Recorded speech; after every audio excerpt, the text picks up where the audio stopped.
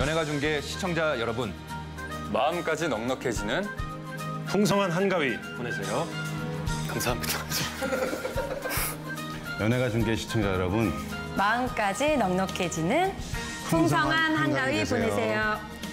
아, 행복하시고 즐거운 추석 되십시오. 여러분 건강하세요. 연예가 중계 시청자 여러분, 어, 올 추석도 행복하시길 바라겠습니다. 여러분, 해피 추석! 즐겁고 풍성한 한가위 되세요. 사랑합니다.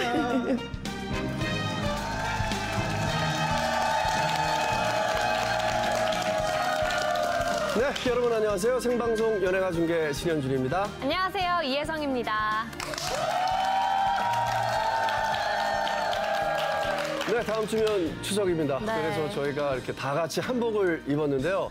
특히 이혜성 아나운서. 네. 야, 한복 정말 이쁘네요. 정말요? 얼마 전에 우리 그 아들, 큰아들 민준이 한복 네. 사줬는데 둘이 너무 잘 어울릴 것 같아. 오, 민준이 몇 짤? 세 짤? 이쁘다는 거예요. 네. 귀엽고 이쁘다는 거예요. 내일 모레 서른 짤.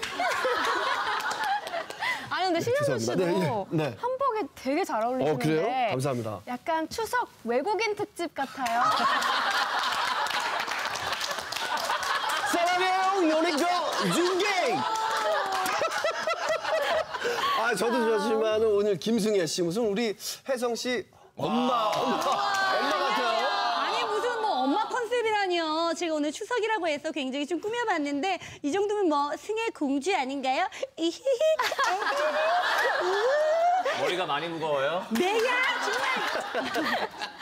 네, 김승혜 씨, 한복 디스크 조심해야겠어요. 네, 그리고 요즘 뭐 아재 개그 난리죠. 김태진 씨, 네. 추석 특집이니까 아재 개그 한번 해주세요. 아, 여러분들 연휴에 술 많이 드시면 안 돼요. 그리고 그 다음 날 들깨 칼국수 드시면 안 돼요. 왜냐면은 술이 들깨!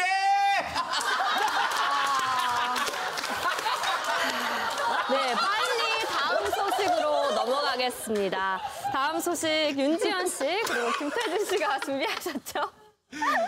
네, 아, 추석 특집 쿡앤톡 준비해봤습니다. 아, 오늘은요 노사연 이무송 부부가 출연을 합니다. 아, 추석 음식들을 함께 만들어봤는데 화제의 깻잎 전쟁 그 뒷이야기들을 들려주셨거든요. 아, 달콤살벌한 25년차 부부가 사는 법 잠시 뒤에 쿡앤톡에서 확인해 보시죠.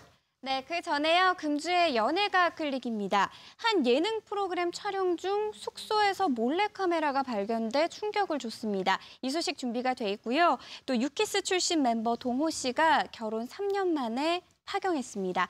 연예가 클릭 지금 바로 클릭합니다.